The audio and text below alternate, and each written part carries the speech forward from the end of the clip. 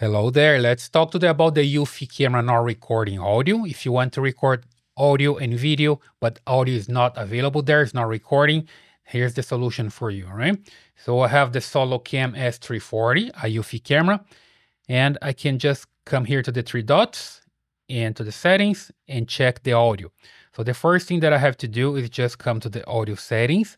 And here I make sure the microphone is enabled so the camera can pick the audio and record, you need to select here to record, right?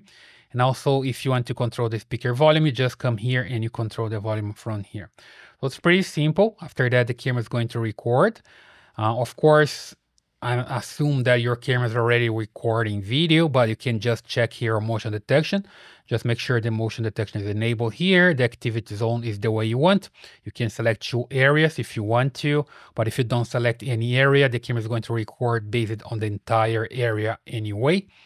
And here detection type, I have human, vehicle, and all other motions. Uh, you can just enable here to record everything, right? You can adjust the sensitivity, but this is all for videos, but anytime there's an event, then uh, it's, it's going to trigger the recording. And now you have audio here enabled for recording as well. And then it's going to work, right? So I hope this helps. That's the way you can solve the problem with the Eufy camera not recording audio. So leave your comments here, consider subscribe to the channel, and I see you in the next video.